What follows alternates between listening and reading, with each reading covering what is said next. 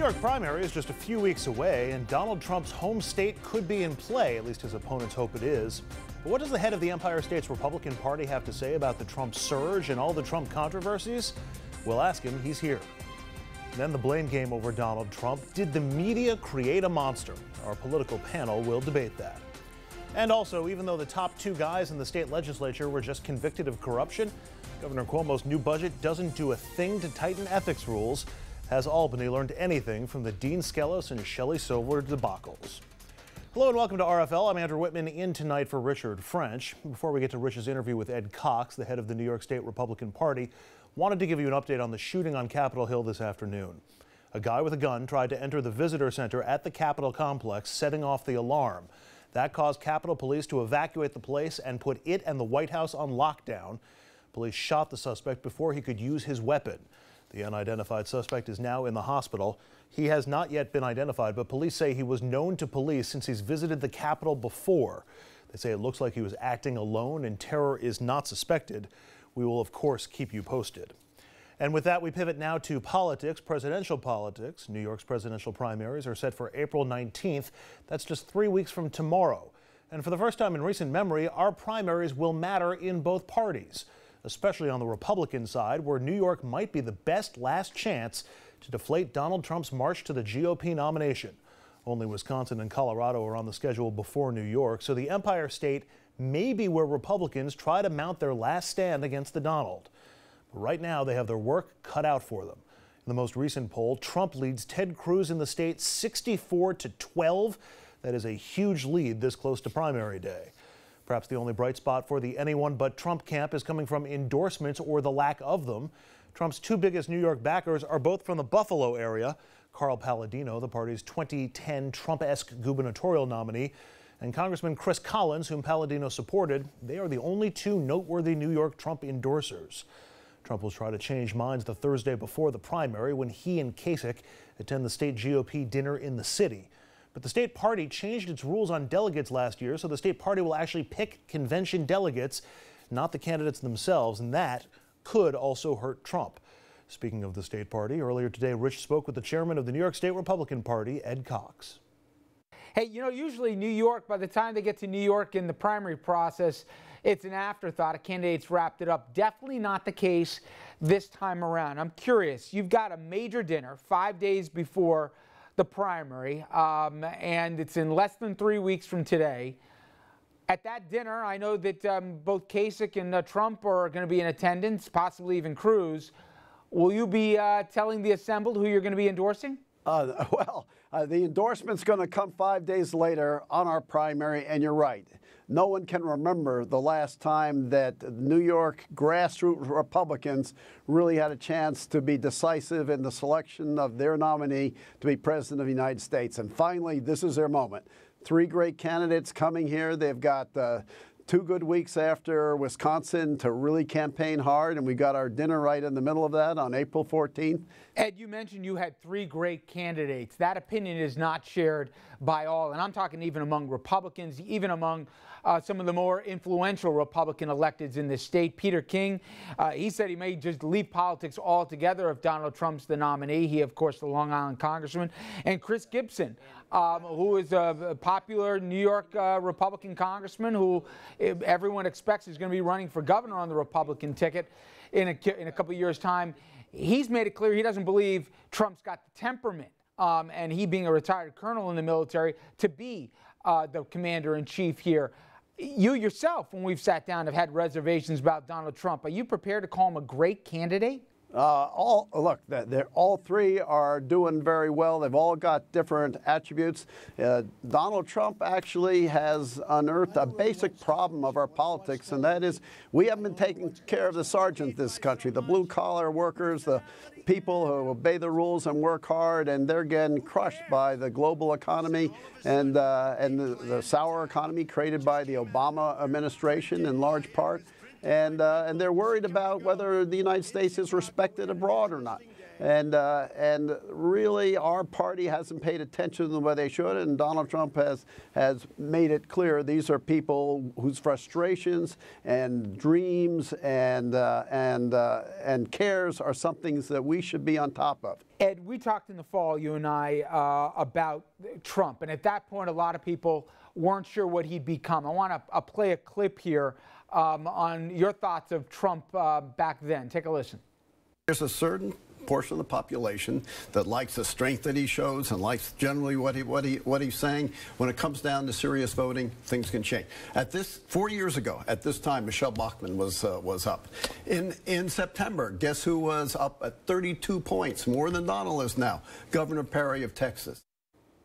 The point was that back then, and you were not alone. A lot of people said, "Late, let the fever pass."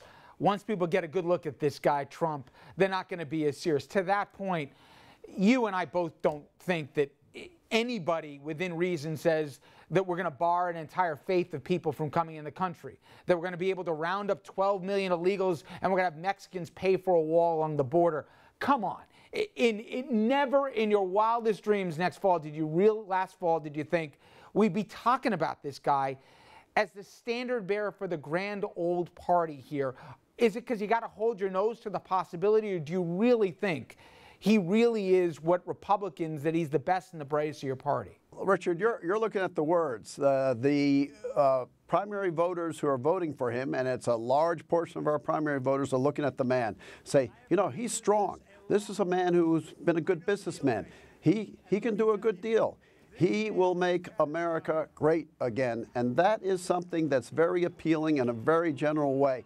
He has been strong. He's dominated the primaries. He's dominated the debate stage in a way that uh, his predecessors, who we named back then, just could not do. He's had the strength to endure to this point. Now, Going forward, he's going to have to step up his game. He's going to have to build out his campaign. He's going to have to reach out to other constituencies. And uh, that's when he's going to have to really prove himself, not just in the Republican Party, but also as a general election okay, candidate. Fair enough, Ed. But you're talking about strategy, all legitimate points here. But I'm talking about the substance of them. And for folks who don't know, uh, your father-in-law, your late father-in-law, Richard Nixon, and taking Watergate to the side for a minute, Nobody ever called him an unserious man, certainly with policy, with foreign policy, certainly with China. But people may not realize he created the EPA.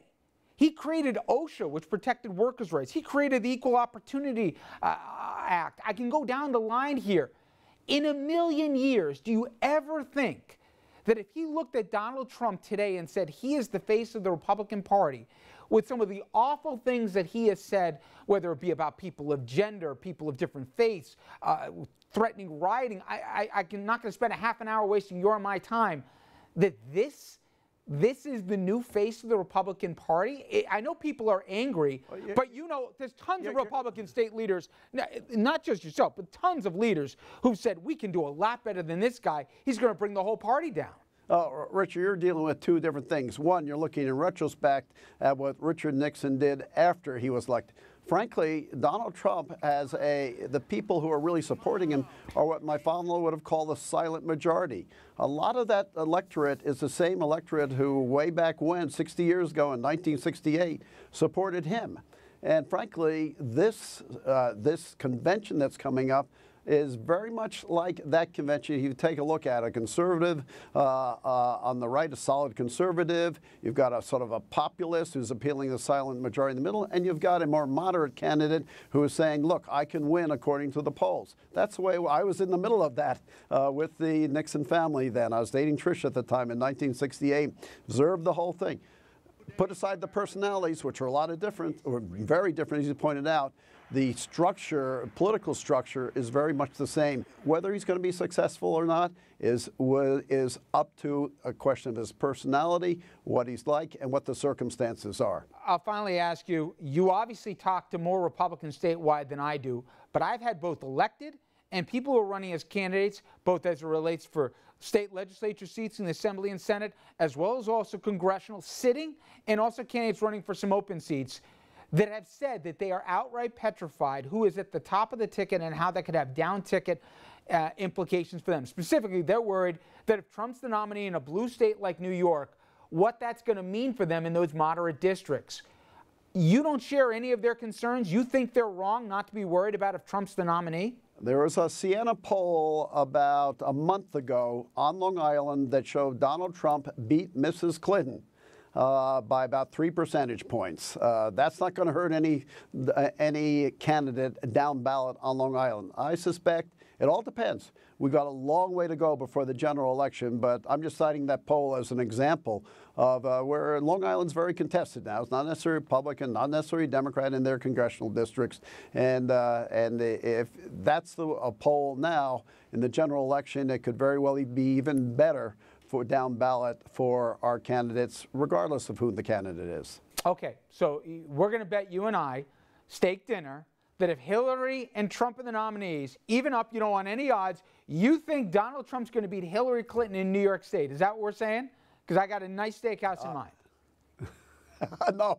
Well, look, we don't know. If in oh. fact that's happening, we're winning in a landslide across the country. I'm just saying on Long Island, a recent Siena poll, that's a good poll, showed that Donald Trump would beat Mrs. Clinton on Long Island. And I think that could be very significant about the weakness of the Democrats because of this sour economy that we have and also the, uh, the lack of respect abroad for America. Well, God bless you, Ed. And uh, I, I, wish you the best of luck. It'll be a very interesting dinner on the 14th and also a very oh, interesting uh, evening on the 19th here. But you can sell Trump all you want. I know down deep this is a nightmare not just for you, but a whole ton of folks. How did we get that The Apprentice is now going to be the nominee. Come on. Look, uh, look we are, uh, Richard, we're going to have a very exciting primary. Yeah. The grassroots uh, of the Republicans here in New York are going to have the time to select the next president of the United States. We have an exciting convention and exciting general election. This is democracy at work in America.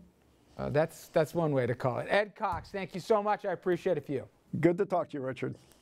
And we're going to have an exciting debate. Up next, our political panel is here to talk about all things Trump, plus the Democratic race, which is heating up after Bernie Sanders swept the weekend, and of course, the pivotal New York primary.